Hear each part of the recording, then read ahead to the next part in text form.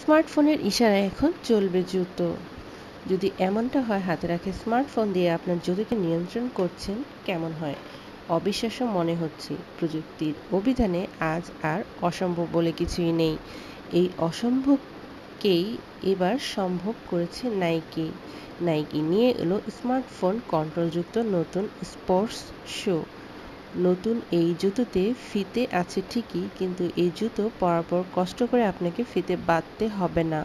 আপনার অবস্থানের সঙ্গে নিজেকে অ্যাডজাস্ট করে নেবে এই জুতো। অর্থাৎ খেলার সময় এক রকম আবার হাঁটা বা সেলফ বসে থাকা অবস্থা বুঝে নিজেকে পরিবর্তন করে নেবে জুতোর ফিতে। নাইকি নতুন এই স্পোর্টস জুতো হলো সেলফ লেসিং যাকে প্রযুক্তির ভাষায় বলা হচ্ছে পাওয়ার লেসেস শুধু এতটুকুই নয়, আপনার হাতের স্মার্টফোনটিতে থাকবে একে নিয়ন্ত্রণ করা চাবিকাঠি। ফোনের বাটন প্রেস করে এক নিমেষে জুতোর ফিতে আলগা অথবা শক্ত করতে পারবেন। মূলত বাস্কেটবল খেলোয়াড়দের জন্যই জুতোটি ডিজাইন করা হয়েছে বলে জানিয়েছে সংস্থা। তবে হাঁটা, খেলা বা দৌড়ানোর সময়ও কীভাবে জুতো ফিট হবে তাও প্রোগ্রামিং করা থাকবে তাতে।